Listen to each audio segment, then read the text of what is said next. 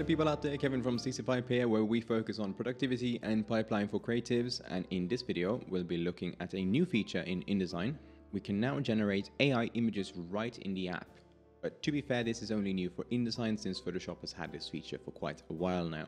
But I can see it being quite useful when making, for example, drafts and you don't have all the proper assets just yet. Anyway, this is how to do it. One way is to use the contextual taskbar that they now added to InDesign as well. So to turn it on, you go to Window and then click on it here. Then it will turn up when selecting a graphics frame. Here you can see it says text to image beta and click here and we can write a prompt. And I'm not a big fan of the bar really, uh, but there's also a panel under window and then text to image beta. So let's give that a try. Uh, I'll type in a prompt over here, um, coffee splash, and you can decide whether you want a photo or art, i.e. more like illustration, and what dimension it should be. And if you have a pre-made frame, you can choose frame dimensions, which is quite nice. Now we can click generate and see what we get. So there we go.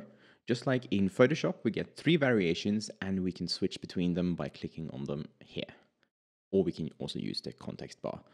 Uh, we could of course, also generate again to get more variations. And uh, this now seemingly works just like a normal image frame. But there is one more thing that it can do. And once again, that's kind of borrowed from Photoshop. If I resize this frame now to a different dimension, we can now choose in the dropdown over here, Generative Expand. So click Generate and it will try and extend your image for you to fit the new frame. Once again, we get three options that we can toggle between. This will work on regular images as well. So here I have a photo with a clear background.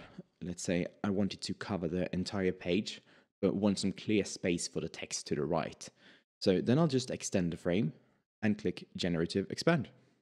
And there we go.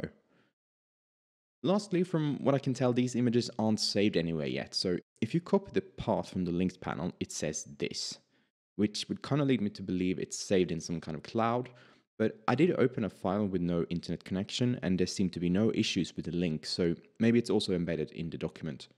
Which is kind of a shame because that's not usually how we work with InDesign, but if you want them as files, if we package the document, the images will be saved as JPEGs. And that is pretty much it. Hope you find it helpful and if not at least interesting. That's it, thank you for watching and see you in the next video right here on CC Pipe.